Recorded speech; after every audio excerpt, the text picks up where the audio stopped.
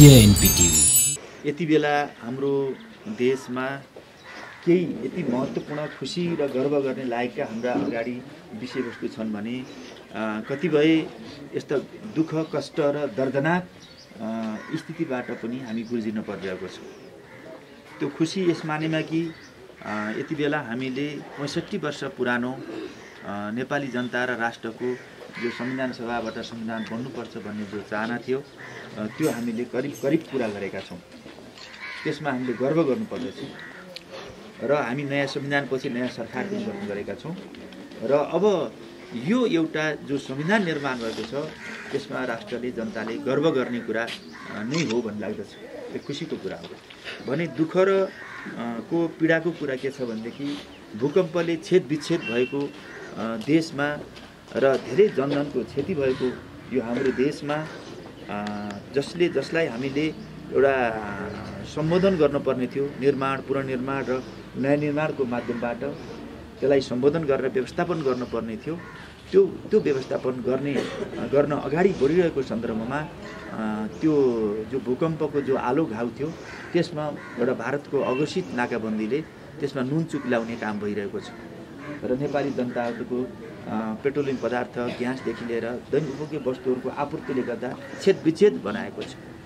तर पनि अर्को फेरि गर्व गर्ने कुरा के छ भने जतिसुकै नाकाबन्दी र जतिसुकै चाहिँ अब अप्ठ्यारो स्थिति र उपभोग्य वस्तुहरूको आपूर्तिमा असहज र अप्ठ्यारो दर्दनाक स्थिति भए पनि नेपाली जनताहरूको यो जुन राष्ट्रिय एकता बच्चादेखि जवानदेखि पाकासम्ममा राष्ट्रिय एकता कायम भएको छ। हामी हामीले चाहिँ के छ भने यो जुन नाकाबन्दी भएको छ यसको विरोधमा राष्ट्रिय एकता कायम भएको छ अर्को त्यो गर्व गर्न लागेको। नाकाबन्दी त पटक पटक भएका छन् तर तर पनि फेरि के छ भने यस्तो एकता र जनताहरूको धैर्यता कहिले पनि देखा परेको छैन।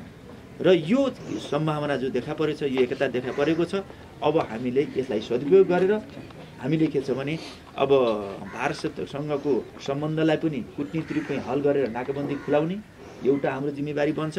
दोस्रो कुरा मधेस केन्द्रित दलहरूले जो आन्दोलन गरेका छन् तिन तिनीहरूलाई पनि राष्ट्रिय राजनीतिको मूलधारमा ल्याउने।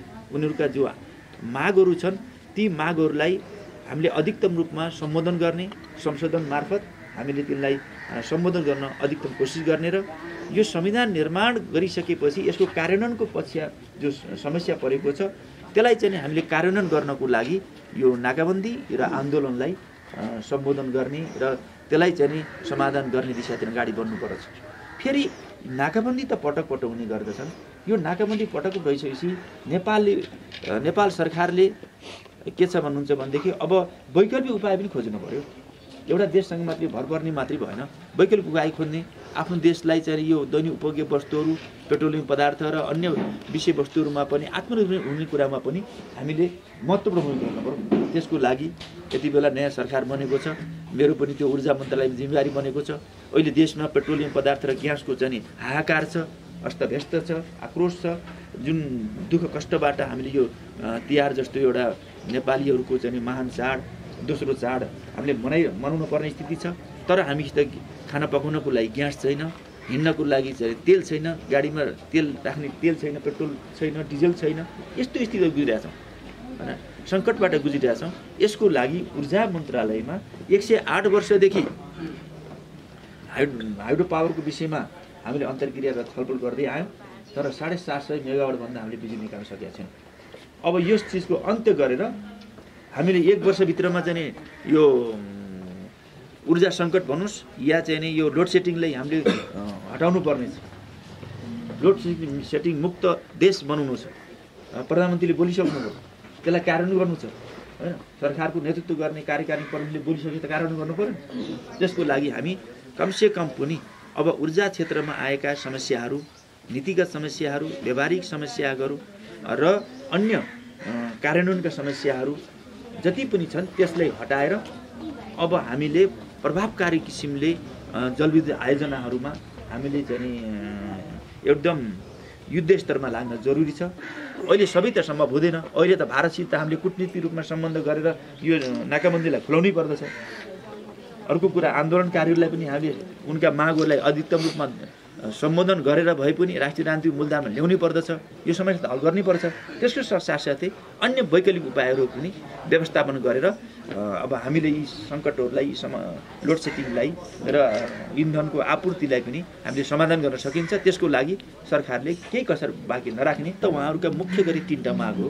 जनसङ्ख्या आधारमा यो यो निर्वाचन क्षेत्र हुनुपर्छ भन्ने। अर्को कुरा समामिति र समानुपाति र समावेशी प्रतिनिधित्व कुरा हो। करिब सरकारले र सबै राजनीतिक पार्टीले मानिसकेको कुरा हो। यो संसदमा प्रस्तुत संशोधनको लागि प्रस्तुत भइसकेको कुरा हो। अब मात्र सङ्घीयतामा सीमाङ्कनको जहाँसम्म विषयवस्तु छ यसको लागि पनि हामीले अत्यधिक मात्रामा केही न केही सम्बोधन गर्नको लागि राजनीतिक पार्टीको बिचमा आन्दोलनकारी शक्तिहरूसँग वार्ता भइरहेको छ।